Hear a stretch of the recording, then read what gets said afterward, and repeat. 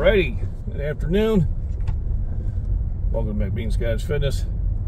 Heading out to the gym.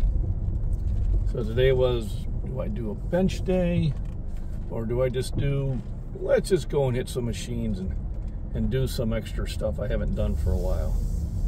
Well, since my uh, boy's not going to work out with me, so that means I won't have a spotter, it looks like it's going to be random machines which is sometimes pretty cool to do.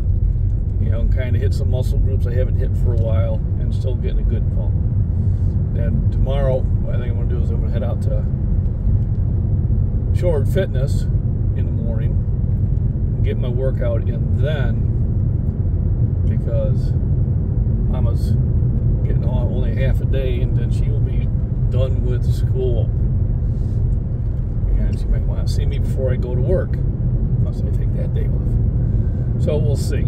It's uh, weather's beautiful. I'm really uh, enjoying going out and working in the garden, walking out to the pond, and walking around the property. You know, nice sunny days like it's been. And it's almost tough to go into the gym on a day like today because it's just the perfect day to sit out and relax.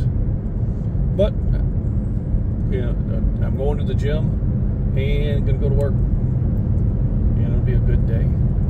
So today just to be random exercises, unless somebody I know there can spot me, but I think it's going to work out better. Give me one more day to rest before I decide to go after the bench again.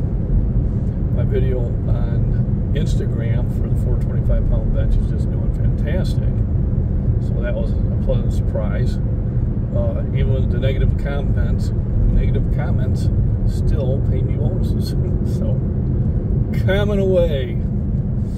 Uh, like I said, another beautiful day. Get out outside. I got outside, I got a lot of sun in. It's giving me a lot of energy. I actually feel more motivated today to hit the gym than I have in, a, in the past couple days. But as always, I still go to the gym. Once I get in there, once I start lifting, I will feel really good about making that decision. So I hope everybody has a wonderful Memorial Day weekend. Be safe out there.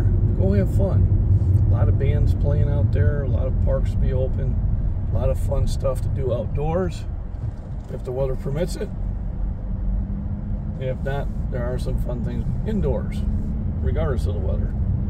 So remember, rest, nutrition, proper exercise, and have fun.